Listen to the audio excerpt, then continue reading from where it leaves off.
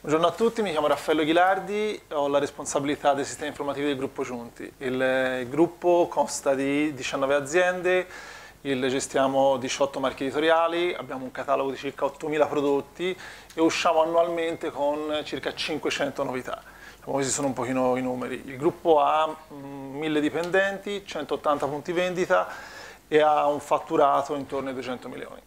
Questo per darvi un attimino la dimensione del, dell'azienda. Ci puoi raccontare anche un po' l'infrastruttura che sì. stai gestendo? L'infrastruttura che gestiamo in questo momento è fatta da due data center, uno praticamente nella sede di, eh, di via Bolognese a Firenze e l'altro nello stabilimento di, produttivo a, a, Prato. Abbiamo circa 150 tera di storage da gestire, lavoriamo soprattutto, eh, dato il business, con piattaforma Mac e eh, gestiamo circa 200 milioni di file su file server eh, Windows. Siamo passati da un'architettura tradizionale, quindi il classico storage, anzi addirittura inizialmente una SAN praticamente con dischi locali, poi storage classici, dopodiché siamo andati a, su tecnologia il eh, Triple F400 per quanto riguarda il team provisioning, perché per noi era un dramma il fatto di eh, gestire lo spazio. Dopodiché eh, siamo arrivati praticamente alla, alla parte SSD con eh, deduplica e compressione perché nel nostro mestiere è praticamente abbastanza, abbastanza normale il fatto che si tengano 3, 4, 5, 6 versioni dello stesso file, perché poi si vanno a rivedere, perché poi si cambia il carattere, perché poi si cambia l'impaginazione, insomma si rivedono molto spesso il, le strutture dei file. Il nostro problema fondamentale da gestire era il backup, perché il, la richiesta di recupero file, non dico è quotidiana, ma sicuramente è settimanale e andare praticamente a recuperare un file su un backup da 20 tera diciamo, diventa effettivamente un problema. Quindi non abbiamo problematiche di database o velocità sull'analytics piuttosto che no, diciamo molto più terra-terra, diciamo, il nostro problema è il file server. Quindi questo ci ha praticamente portato in primis a cambiare tecnologia, quindi a non andare direttamente dallo storage sul nastro, perché ovviamente la latenza non era il, il nastro, ma era ovviamente sulla sorgente. Quindi il nastro stava a aspettare che praticamente venisse letto il dato, venisse creato il pacchetto e poi scritto sul nastro. Da lì abbiamo, abbiamo fatto un salto sul, sulla parte disk to disk to tape, quindi andando praticamente a utilizzare delle, delle NAS, però anche lì non eravamo contenti, perché comunque il nostro backup non, non riuscivamo a completarlo entro le 72 ore dal, dall'inizio passando ovviamente a un'infrastruttura che ci ha permesso delle letture notevolmente più veloci rispetto al, diciamo, alle infrastrutture tradizionali, siamo riusciti a completare praticamente il, i backup in tempo utile per poter poi essere pronti a fare il restore a questo punto quasi in tempo reale perché prendendolo da NAS si riesce praticamente a servire l'utente in maniera molto più veloce.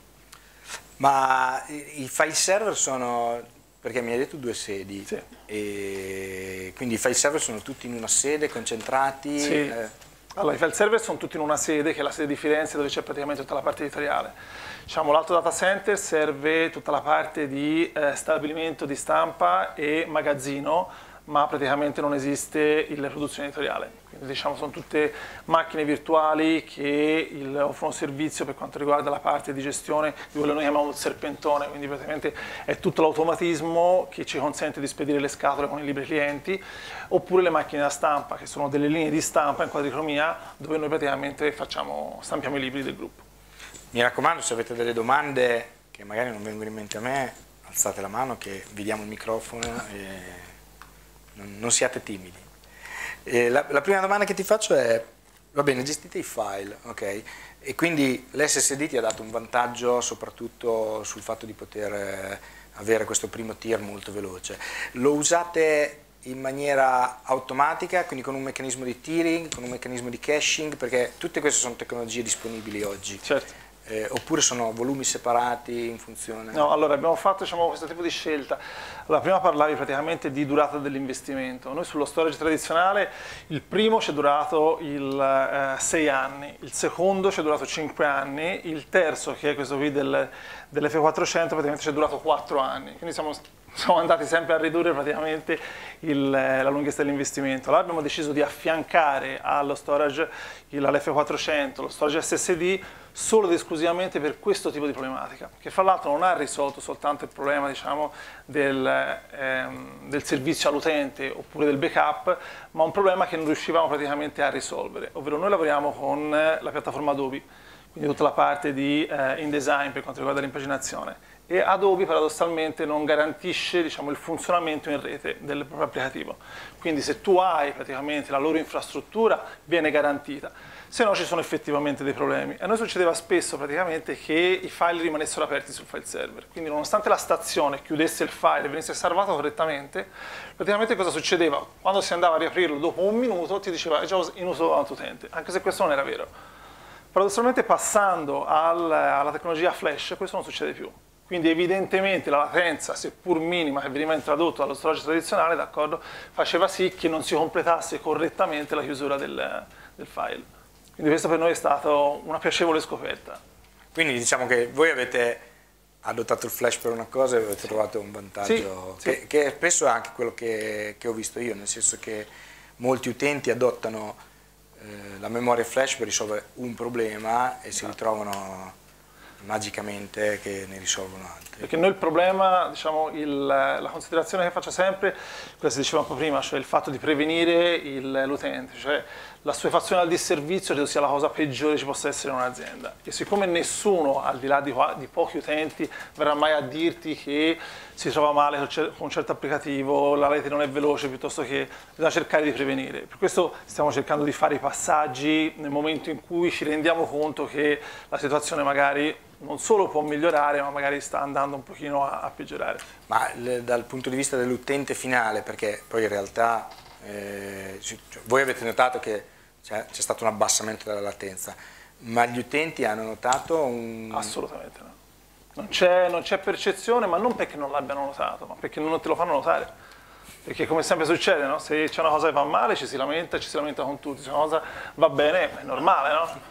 Cioè, io faccio sempre l'esempio di quando entri in macchina, te non ti chiedi se la macchina si accenderà o se si accende dici accidenti questi ingegneri, però dei fenomeni. E lo stesso succede nell'azienda, cioè se tutto va bene, tutti zitti, tutti buoni. Quindi... Beh, voi però l'avete notato. Sì, assolutamente, che... assolutamente. Cioè... Da noi si dice no news, good news, no? Quindi yeah. se tutto tace vuol dire tutto va bene. Sì, sì ho visto un, un, uh, un'immagine su Facebook un paio di giorni fa dove c'era scritto l'IT è come un matrimonio, no? se va tutto bene nessuno ti ringrazia, ma se c'è qualcosa che non va, esatto. apriti cielo. Esattamente così. E quindi facendo conto di questa um, infrastruttura che avete, la flash ce l'avete solo nel, nel, sito primario? Sì. Sì. Okay. sì. perché non utilizziamo meccanismi di replica basati sul, sullo storage. In realtà la replica la facciamo utilizzando praticamente le piattaforme software del, del vendor stesso, quindi per quanto riguarda SAP utilizziamo Oracle, per quanto riguarda diciamo, la parte di posta elettronica, il sistema embedded all'interno della piattaforma Exchange e così via. Abbiamo provato inizialmente quando avevamo diciamo, lo storage classico a fare praticamente replica sincrona e o asincrona, d'accordo? Però all'epoca quello che ti consentiva la rete pubblica era veramente limitato per quanto riguarda la replica e considerate che noi abbiamo tutta la nostra rete, sia i negozi che il, le varie sedi del gruppo sono tutte su rete pubblica, quindi non abbiamo PLS, non abbiamo niente. E riguardo invece al fatto che hai menzionato SAP come sistema gestionale, lì avete visto, cioè avete utilizzato la flash? No, in questo momento ancora no, il, il SAP è sullo storage tradizionale perché non abbiamo praticamente problemi per quanto riguarda anche procedure batch che magari durano diverse ore, il fatto di portarle a farle durare mezz'ora, quindi ridurre magari anche di un decimo addirittura, cioè portarle a un decimo rispetto al tempo, al tempo intero, non ci porta così in vantaggio. Allora, cerchiamo, di, di tenere, esatto, cerchiamo, di tenere, praticamente il, il, flash laddove effettivamente ci rendiamo conto che ci possono essere delle lamentele. E per il futuro cosa, cosa ti aspetti da questo punto di vista? Cioè, nel senso che adesso appunto hai detto flash e, e il resto, che adesso non dico trash perché è la tua produzione, però... E, quindi è tutto ancora molto separato da questo punto sì, di vista. Sì, sì. Ora, il, il, nostro problema praticamente è la gestione del file server, nel senso che noi utilizziamo il file server tradizionale a, a cartelle ed è ovviamente un caos perché andare a tenere il, eh, oltre 100 milioni di file organizzati non è semplice, d'accordo? Quindi l'idea è quella di passare praticamente dai file server e il eh, tag based, quindi un po' come fanno i social piuttosto che... però sarebbe una rivoluzione veramente copernicana all'interno dell'azienda e come voi sapete il, introdurre nuove metodologie di lavoro um, è sempre, non è sempre semplice, soprattutto non è sempre semplice andare a dimostrare quello che è il vantaggio, perché il tag based potrebbe essere un vantaggio enorme per noi dal punto di vista dell'IT per quanto riguarda la gestione, non so quanto potrebbero essere per l'utente, quindi in questo momento diciamo, il ragionamento è un po' in quella direzione, però siamo molto molto cauti anche perché per esempio noi siamo passati negli ultimi anni da il, uh, utilizzare software di produzione diciamo, diverso rispetto a quello attuale e lì è, stato, è stata veramente una lotta. Veramente una lotta. Quindi avete dei progetti ma ancora sono più sulla diciamo, carta? Che... I, progetti, I progetti che stiamo prendendo in considerazione adesso sono progetti CRM e BI che sono un pochino il trend degli ultimi anni, noi siamo arrivati un po', un po' di rincorso perché non siamo particolarmente reattivi sull'innovazione tecnologica, non tanto dal punto di vista infrastrutturale quanto dal punto di vista applicativo. Perché il nostro è un lavoro tradizionale, cioè fare un libro che, che se ne dica, al di là del fatto che il, il digitale, ormai qualche anno fa, è già presente nella vita di tutti noi ed è praticamente una realtà, però fare un libro si faceva così 400 anni fa e si fa così oggi, quindi non è che è cambiato molto, quindi si possono ottimizzare le cose, ovviamente si possono accelerare i tempi, però andare a introdurre delle nuove piattaforme software di lavoro su un mercato così tradizionale non è, non, è, semplice, anche perché la parte di board ovviamente il, deve essere sensibilizzata su queste nuove tecnologie, essere, devono essere comprese, devono essere accettate e somatizzate e non è sempre un processo diciamo, lineare e corto. Adesso eh, sono anche impreparato, devo essere sincero, io mi ricordo giunti per questi libri bellissimi su Leonardo, su, eh, spettacolari, ma costavano anche una fiuma. Ma quelli perché sono fatti a mano? Sì, sì, infatti erano bellissimi. E, però cioè, c'è una parte no, di editoria digitale comunque, eh, quella parte lì eh, la gestite esternamente sul no, cloud? No, facciamo tutto internamente, anche perché in realtà andare praticamente a gestire editoria digitale, cosa vuol dire? che all'interno del processo che porta praticamente l'artefatto su carta, d'accordo? a un certo punto questo processo devia e si va verso la piattaforma digitale. Quindi non c'è stato, diciamo, dal punto di vista tecnologico, una rivoluzione, cioè non è stato stravolto il processo. C'è sempre l'idea editoriale, c'è sempre comunque il redattore, c'è sempre il grafico, quindi deve essere composto comunque l'artefatto. Poi dopo diciamo, è l'uscita, invece di uscire sulla carta, d'accordo, viene praticamente fatta l'uscita o sul web o sull'ebook o, o, sul formato diciamo, che, che, si decide. Diciamo che c'è una limitazione grossa oggi per quanto riguarda la manualistica, quindi il nero sul digitale è ovviamente molto molto semplice. Per quanto riguarda la manualistica diciamo, ci sono dei problemi in più. Però diciamo che il, ehm, quello che dove volevo arrivare è proprio il traffico web che voi generate sui vostri prodotti non è tale oggi da giustificare un'infrastruttura particolare? No, oppure... anche perché per come funziona il business del, eh, del, digitale, in realtà non siamo noi che vendiamo direttamente, ma ci sono delle piattaforme di distribuzione a cui gli editori si affidano. Quindi in realtà non è Giunti che vende il, al pubblico, Giunti mette a disposizione della piattaforma di distribuzione il file digitale. Quindi per noi da questo punto di vista è assolutamente trasparente, cioè non ha nessun tipo di impatto. Okay. Quello che stiamo facendo sul, sul, sul digitale è mh, la parte di e-commerce, quindi cercare praticamente di andare a unire che sono, quello che è il business tradizionale dello store, con il business praticamente innovativo del digitale. Questo però sono, sono, idee che abbiamo e che stiamo portando avanti, ma in questo momento sono soltanto a livello di idee. Però dal punto di vista infrastrutturale diciamo, non hanno un impatto pesante. Ti volevo chiedere se ehm, per i casi d'uso che hai illustrato eh, in generale per il ciclo di vita delle informazioni e dei documenti, se avete considerato l'utilizzo dell'object storage? No, non, non l'abbiamo considerato perché il, a oggi quelle che sono le, le, nostre esigenze sono veramente estremamente semplici. Poi il problema è che purtroppo c'è la tendenza a investire sulla tecnologia d'accordo piuttosto che educare l'utente. Noi siamo arrivati comunque alla convinzione che andare a mettere delle policy sul, sull'utenza, andare comunque a definire il processo di lavoro è sicuramente il più impattante che non andare a investire su tecnologie che risolvono alla base un problema che non ci deve essere. Una curiosità, eh, visto che avete questa necessità di fare i restore molto spesso, avete valutato la possibilità di utilizzare gli snapshot a livello storage sì. e utilizzarli come primo livello di backup? Allora sì, l'abbiamo valutato, però il problema è praticamente quello di andare dal punto di vista dei costi a impattare sull'infrastruttura storage quindi nel momento in cui si va praticamente o a tenere uno storico, perché comunque il file server te lo, te lo consente, quindi dire bene io tengo n versioni dello stesso file, d'accordo, piuttosto che andare a fare snapshot e poi mapparli per andare a recuperare, diciamo, hanno un costo molto più alto rispetto all'infrastruttura attuale di backup, perché se tu consideri che le partizioni di backup dell'editoriale, perché poi noi abbiamo anche la parte scuola, che sono file server diversi, solo l'editoriale, il, abbiamo 20 tera di unità logica visibile agli utenti, andare a fare snapshot su 20 tera, rimapparli, andare a pescare il dato, poi bisogna vedere quanto lo tieni lo snapshot. Lo tieni un giorno, lo tieni in 48 ore. Noi in questo momento abbiamo praticamente la capacità sul, sul NAS di andare a gestire in maniera molto economica quello che è diciamo, il, la possibilità di recupero fino a 15 giorni. E scusa, un'altra domanda, avete valutato invece di adottare la tecnologia flash lato host invece che lato storage? Per curiosità, eh? No, direi, direi, di no, anche perché noi utilizziamo tutta la parte di infrastruttura virtuale, d'accordo, che il, è diskless. Quindi noi utilizziamo tut, solo e esclusivamente lo storage, cioè non abbiamo macchine fisiche, d'accordo, dove praticamente abbiamo un collo di bottiglia sul, sull'host, quindi andiamo totalmente sullo storage da questo punto di vista. Prego.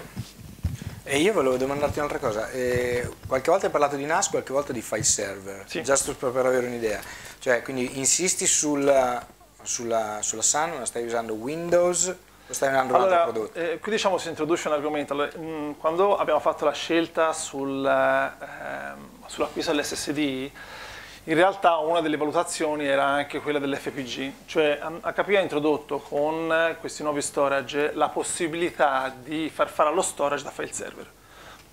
Questo per noi era assolutamente straordinario perché si bypassava tutta la parte del sistema operativo andando a interagire direttamente client-storage, quindi loro lo chiamano uh, file persona group. Il problema qual era? Non l'abbiamo, adottato perché in realtà mancava, manca ancora da parte dei vendor tutta quell'integrazione per esempio del controllo antivirus quindi avrei dovuto mettere un proxy davanti allo storage e questo praticamente avrebbe invalidato il vantaggio che avevo a togliere la macchina Windows. Quindi il, ehm, diciamo, la valutazione... Quindi usi Windows perché è più intelligente?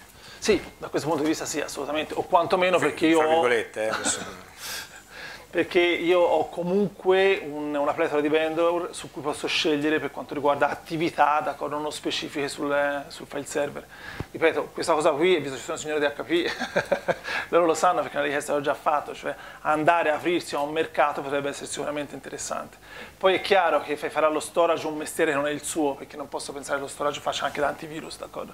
Però non posso neanche pensare che con l'utenza che ho io mettere praticamente un proxy a cui accedono tutti, il file viene aperto, controllato e poi messo sullo storage e viceversa. No, no, ma immagino che comunque con i numeri che hai, anche se ci fosse una soluzione antivirus, sarebbe veramente impattante.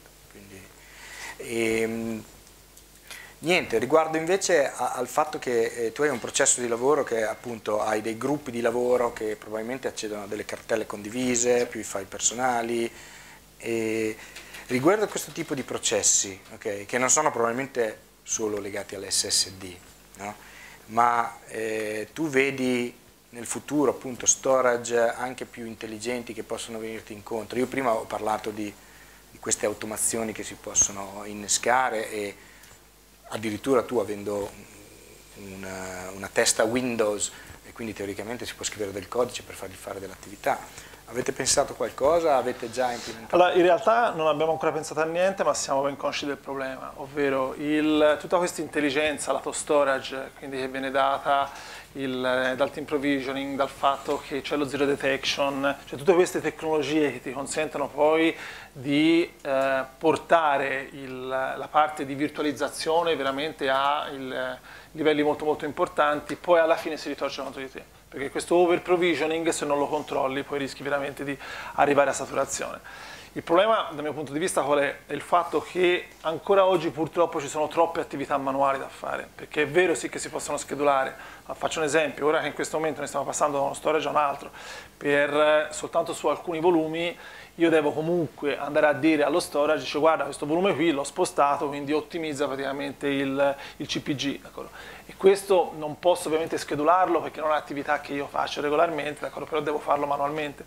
Quindi dal mio punto di vista se lo storage fosse un pochino più intelligente e a dialogasse in maniera più approfondita, perché è vero si parlava delle VI, però in realtà sono informative, d'accordo? Cioè sono informazioni che te vedi inerenti allo storage dall'interfaccia VMware, bene? Mi piacerebbe ci fosse una reale integrazione, cioè che VMware potesse parlare direttamente con lo storage e andargli a dire, dice, bene, ok, siccome ho cancellato questa macchina, io a questo punto ti metto tutti gli zeri sul, laddove praticamente c'era questa macchina virtuale in modo che tu possa riprenderti lo spazio e poi rimettermelo a disposizione. In realtà questo ancora oggi non succede, se non diciamo in parte. È un, processo semi-automatico, non è un processo automatico. Invece sul lato... Ehm mi è sfuggita la domanda mentre pensavo alla tua risposta.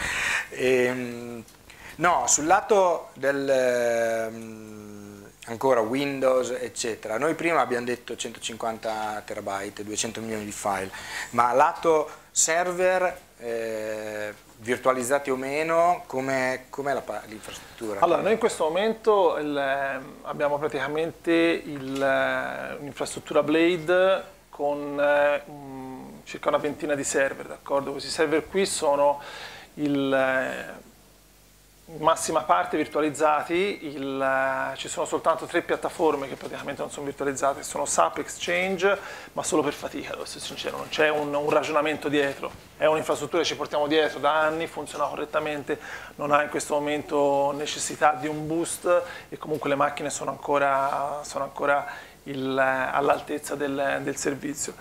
Le, le, restanti macchine praticamente sono, come si diceva prima, il server diskless che gestiscono praticamente tutta la piattaforma VMware su cui abbiamo tutta una serie di servizi che vanno dalle macchine per gli sviluppatori al siti web piuttosto che noi abbiamo un sistema di autenticazione centralizzata per quanto riguarda i siti web eh, chiamato CAS, quindi diciamo, la facoltà di loggarsi su un sito e essere riconosciuti su un altro sito del gruppo senza bisogno praticamente di registrarsi il, quindi tutta la parte database, siano essi MariaDB piuttosto che, che SQL, quindi siamo alla fine diciamo, l'esigenza è quella di una qualsiasi azienda, quindi abbiamo diverse, diverse piattaforme. Non, non, sentiamo in questo momento il, la necessità di andare praticamente a migliorare il, il, il tipo di performance perché abbiamo raggiunto comunque un buon livello, d'accordo? Poi è chiaro che il, sei costretto ad andare a fare gli aggiornamenti perché i vendor rilasciano praticamente il nuovo sistema operativo, la nuova versione è incompatibile con il sistema operativo e questo lo, eh, lo soffriamo molto sulla parte, sulla parte Mac. Perché, perché, lì questo processo che su altre situazioni praticamente si sente meno, lì si sente veramente molto. Cioè non hai il controllo della... No, perché noi abbiamo eh, tre componenti che sono il sistema operativo, l'applicativo, quindi il design e la parte di font. Questi tre oggetti si rincorrono sempre, sempre.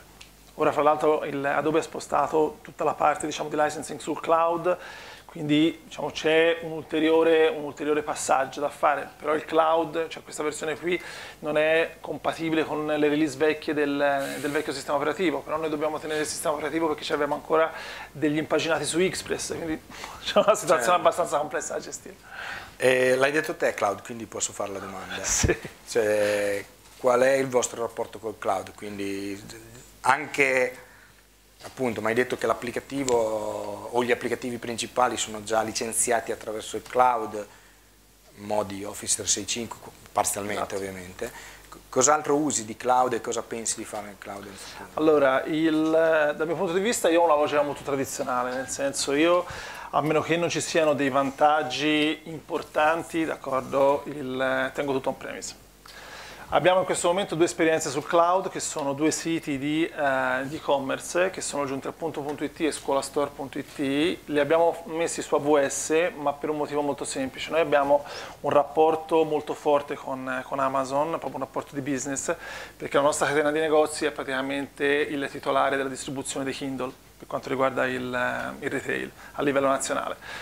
Nel momento in cui siamo andati a fare praticamente un sito e-commerce eh, che si appoggia sul, sul, programma vendor di Amazon, la scelta è stata obbligata. però io non sono, non sono, molto convinto del cloud né per quanto riguarda i costi né per quanto riguarda diciamo, il fatto che a oggi essere agnostici in relazione al cloud è un problema. Quindi, ripeto, Capisco perfettamente, infatti noi stiamo adottando una soluzione di wifi per le librerie proprio basata col management sul cloud e poi l'hardware diciamo nostro perché è una soluzione eccellente. Su questo tipo di soluzioni diciamo, il, eh, incontra un po' il mio favore. Andare a esternalizzare una parte del business su, su, cloud al di là diciamo, di, quale, di quale tipologia secondo me a oggi non ha nessuna convenienza né dal punto di vista economico né dal punto di vista di performance per l'esperienza ovviamente che ho vissuto io. Ti faccio un'ultima domanda, visto che prima hai nominato MariaDB, che ovviamente è open source, quindi avete degli sviluppatori, avete qualcuno che sta lavorando su delle applicazioni interne? Allora sì, noi abbiamo praticamente un, tutto il, il sistema gestionale del, delle librerie è basato praticamente oggi sul, su MySQL, però come sappiamo diciamo, MySQL ha preso una strada diversa rispetto a quella di, di, quando è nato e il gruppo sviluppo è andato verso, verso MariaDB.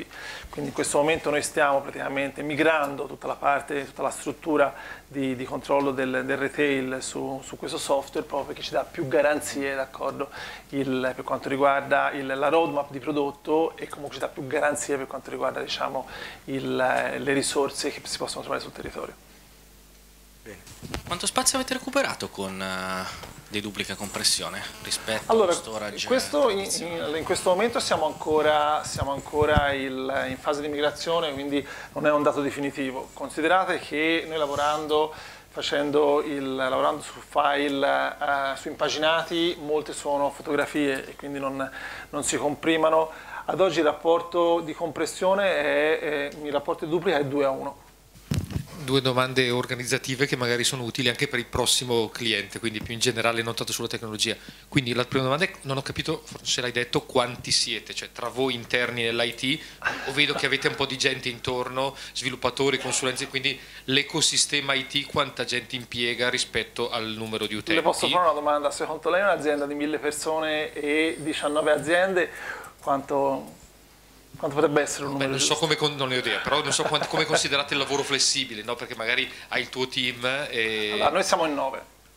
La parte 9 T, dipendenti. Diciamo sì, 9 dipendenti. Non consideriamo il lavoro flessibile se non ovviamente laddove ce n'è bisogno su grossi progetti, per esempio il discorso CRM, BI, ovviamente vedano eh, coinvolti fornitori e, e, consulenti, però non abbiamo Quello delle figure... È per un progetto, un conto invece io magari ho dei consulenti che mi, insomma, mi aggiornano no, l'antivirus, ho detto, no. una banalità evidentemente, no. quindi una decina di persone fanno tutto. Sì, diciamo che, il, come dicevo prima, il, mh, mm, ci piace essere estremamente reattivi e avere comunque una pertinenza su quella che è il dato aziendale. Quindi a me piace che le mie persone possano reagire a qualunque domanda in tempo reale. Poi sicuramente in certi ambiti mi devo rivolgere al professionista piuttosto che all'azienda, però vogliamo avere tutto sotto controllo. E le nove persone divisi fra sviluppatori, sistemisti, helpdesk, diciamo, in questo momento riusciamo a dare il servizio che, che ho in testa. Quindi H24 cioè... Diciamo l'H24 sono io.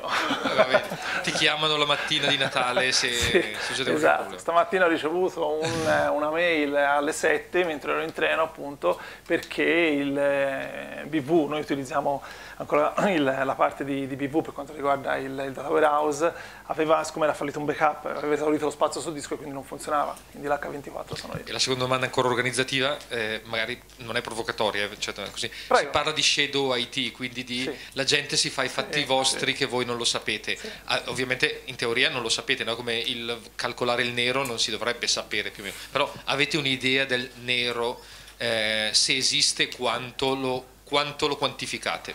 Allora, diciamo che l'azienda è cresciuta moltissimo negli ultimi anni, d'accordo? E prima non aveva un IT vero e proprio, quindi chi aveva un po' di intraprendenza si faceva il suo applicativo, diciamo il suo DB Access, andava a farsi quello che era il, il suo perimetro, d'accordo? Cercando di essere autosufficiente.